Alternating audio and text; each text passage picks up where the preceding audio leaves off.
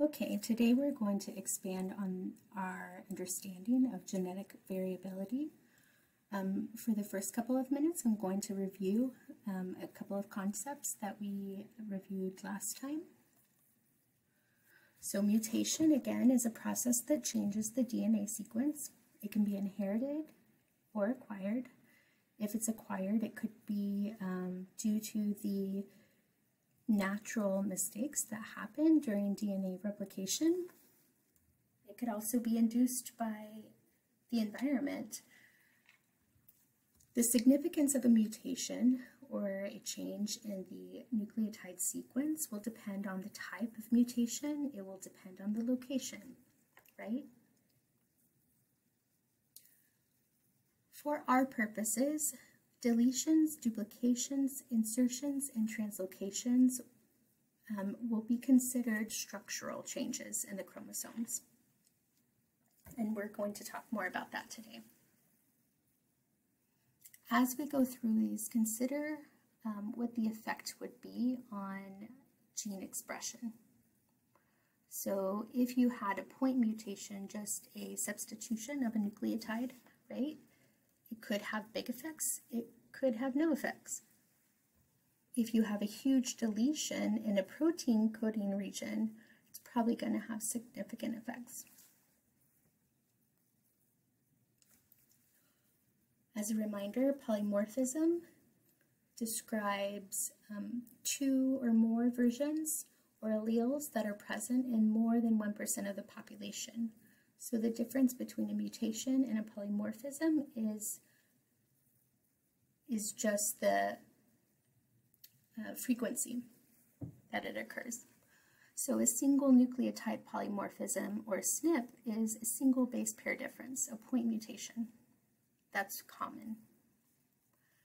And when you look at a lot of the genetic research that um, has come out and that has been uh, funded, a lot of that research focuses on SNPs, single nucleotide changes in our entire genome, and they are looking at how we can use those single nucleotide changes to differentiate different populations in the world.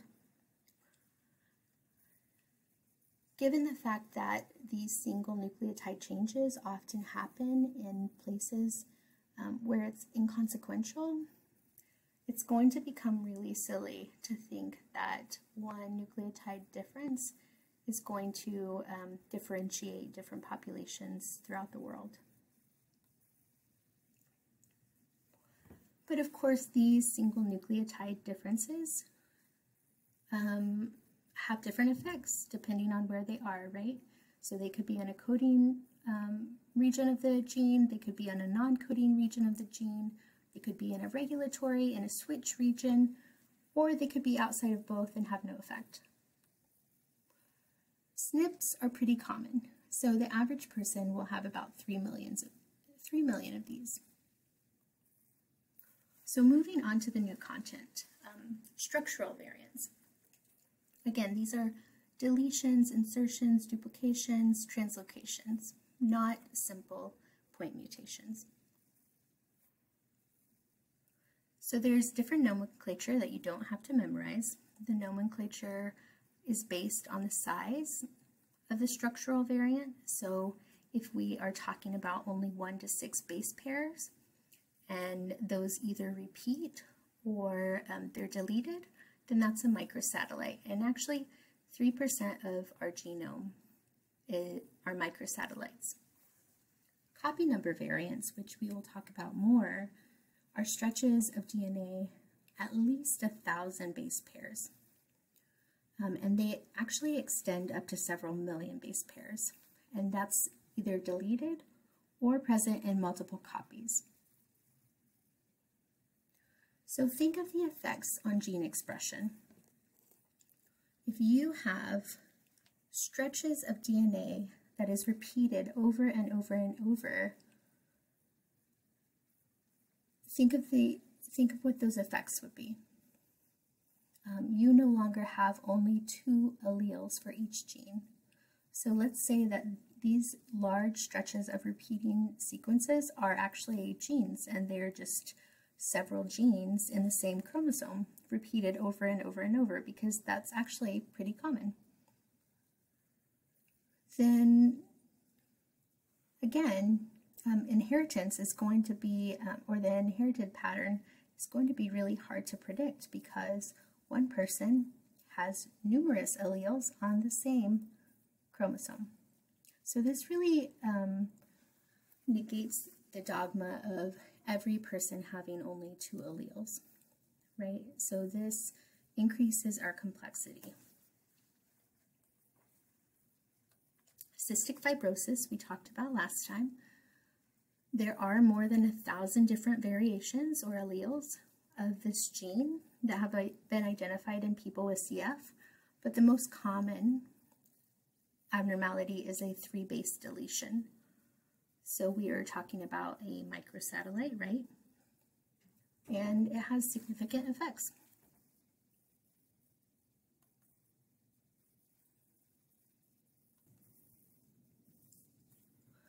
Copy number variants. So 10% of our genome actually consists of copy number variants. These are very large. The average size of a copy number variant is about 10 times the average gene size. And many are polymorphisms, which means they're relatively common. The other important um, characteristic of copy number variants is that they have really, really high mutation rates. So looking at mice um, developing, even after only a few cellular divisions, you, researchers have been able to identify mutation rates from 100 to 10,000 times greater um, than what you would see in um, the rest of your DNA. So even in um, embryologic studies, after a few cell divisions, um, there is a gain or loss of millions of base pairs. So think of that. Um, later on, we are going to talk about twin studies because a lot of our um, understanding of genetics and inheritance is based on twin studies. But think of the effect that our knowledge of copy number variants has on this. If only after a few cell divisions, you can see millions of base pairs being either duplicated or lost, then even identical twins who start off with the same DNA are going to be different really fast. And studies have um, shown this to be correct. Whenever they sample cells from identical twins and they are um, adults, they find that there's about 10% variation per twin pair. So there are numerous diseases associated with copy number variants, but it also these also play an evolutionary role um, and one study even found them to be relatively protective against HIV and AIDS. Um, if you know that yourself or a friend has this copy number variant, please still wear a condom because relatively protective is not completely protective. So why does this matter? Um, well, it kind of blows the dogma out of the water, right? We do not have only two alleles for every gene. Also, identical twins do not have identical DNA, and this is only based on our knowledge of copy number variants. Also, all cells do not contain identical DNA. Because you have copy number variants in all of your cells, but they will mutate at different rates and in different places. So on a test, if you are asked, um, what is the difference between a heart cell and a um, liver cell? Yes, you will, you will still answer that they have identical genomes.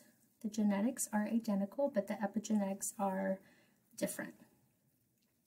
That should still be your answer on a test, but we know um, that that's not actually true. Humans are actually mosaics. Williams syndrome is um, an example of a syndrome that occurs when about 26 to 28 genes are deleted on chromosome 7. So this would be considered um, a pathologic variant of a copy number variant. I'm not going to spend too much time on this because you're going to read about it and you're going to uh, watch a video. So we'll move on to aneuploidy. This is any variation in the number of chromosomes. So we were talking about structural variant, now we're talking about numerical variants. Um, most of you are probably familiar with one form of aneuploidy, which is trisomy 21. Um, there are a couple of other um, diseases that are characterized by aneuploidy, but despite this association with um, pathogenesis, there is actually a surprisingly high degree of germline somatic chromosomal mosaicisms in healthy individuals. So we all have a um, significant amount of aneuploidy within our cells. So 2 to 5% of sperm, you will see this. Um, and it's not necessarily every chromosome, and it's not um, the same degree of aneuploidy in each cell that is um, characterized by aneuploidy. Some might have uh, some might be missing a chromosome and some might have an extra one. And the rates of this in sperm are affected by behavior and environmental exposures. So more caffeine, more alcohol, more drugs, more smoking, more aneuploidy. In women, the rates are even higher. So about a quarter of oocytes in healthy females show some degree of aneuploidy. Um, and those aren't the only cells in our body that have this um, phenomenon. So it's actually pretty common in our brain.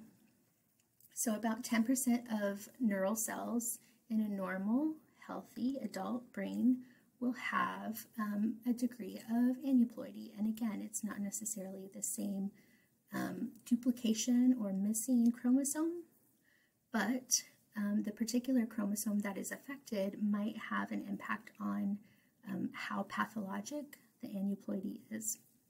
For example, if um, chromosome 21 is involved, whether it's missing or whether um, there's more than um, two, there's an increased risk of Alzheimer's disease.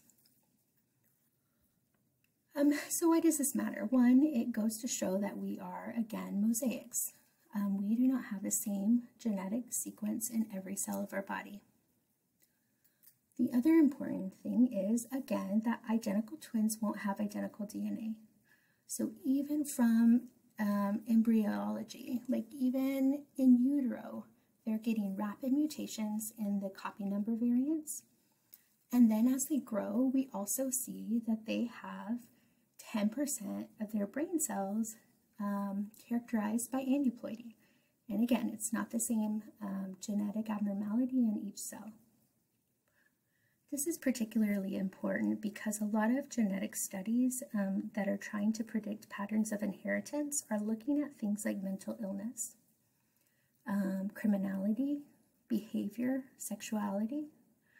Um, and so, and you also have to understand that when they collect cells for these genetic tests to sequence um, the DNA, they are either taking cheek swabs or they are taking blood cells. Um, and that doesn't make a whole lot of sense if you're studying phenomenon that happens in the brain because you know that your brain cells are going to have a different nucleotide sequence in at least 10% of them.